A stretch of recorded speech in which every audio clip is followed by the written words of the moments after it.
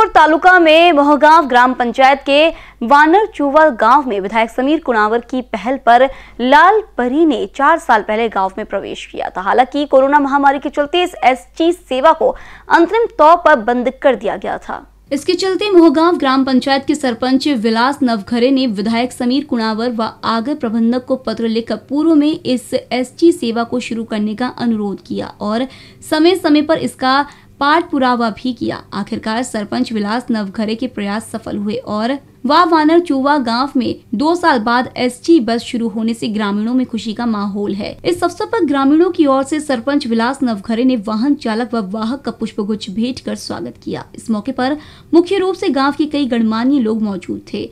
विधायक समीर कुणावर ने हिंगनघाट, आगरा को दस एस बसें उपलब्ध कराने की पहल की और उनमें से एक को वानर चूवा भेजा गया। सरपंच विलास नवघरे और विधायक समीर कुणावर द्वारा वानर चूवा को एक बस भेजने की पहल का पालन किया गया। किया। इस मौके पर ग्रामीणों ने खुशी ज़ाहिर करते हुए विधायक समीर कुणावर व सरपंच विलास नवघरे का आभार व्यक्त किया। इस मौके पर बड़ी संख्या में छात्र छात्राएँ ग्रामीण मौजूद रहे। इन बीसीएन न्यूज़ के लिए हिंगनघाट से रवि यनौरकर की रिपोर्ट।